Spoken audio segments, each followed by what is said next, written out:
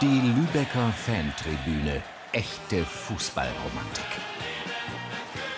Nur leider auch ein bisschen in die Jahre gekommen.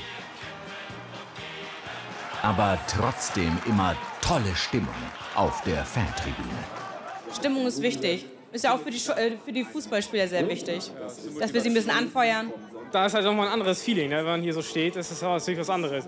Ich will gar nicht auf die Sitztribüne, obwohl man da gut gucken kann. Aber hier sind wir eine Familie und gut ist. Der VfB Lübeck will die Fantribüne nun aufhübschen lassen. Das Lübecker Bauamt macht nur eine klitzekleine Einschränkung. Der Fankreissprecher zitiert. Der Block darf nicht als Fanbereich genutzt werden, äh, wegen der besonderen Gefahrensituation. Fanblock ohne Fans? Zu gefährlich? Äh, das, es bleibt für uns etwas rätselhaft. Denn wie gesagt, die Aktionen, die wir vorher hatten, werden so oder ähnlich hier auch stattfinden, kurios. Wir, wir werden durch, durch Gesänge an, äh, anfeuern. Insofern ändert sich da eigentlich gar nichts. Das ist der Punkt, der für uns sehr rätselhaft erscheint. Hm, komisch. Und dieses Rätsel wollte das Bauamt leider nicht auflösen. Keine Auskunft, laufendes Verfahren und so. Aber immerhin hat das Bauamt die niegelnagelneue Tribüne genehmigt. Mit schickem Dach für 210.000 Euro. Aber eben ohne Fans. Dabei würden die sogar Geld dazugeben.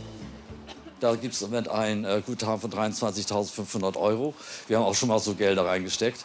Äh, dann kommt die, Arbeits die Arbeitskraft, die Zeit, die wir noch reinstecken können bei Arbeiten, die wir ausführen können. Nett von euch, aber ihr müsst trotzdem draußen bleiben. Selber schuld, wenn ihr Fans seid. Wo sollen denn die Fans sein? Ja, also, äh, das ist ja gerade hier so ein Block für die Fans. Und da man den anderen Block ja schon für die Gäste genommen hat, sollte das eigentlich so bleiben. Ja, aber das Bauamt hat doch auch recht. Fußball ohne Fans ist viel angenehmer. Kein lautes Gebrüll, keiner verschüttet Bier und diese nervigen Fahnen versperren nicht die Sicht. Ist doch super.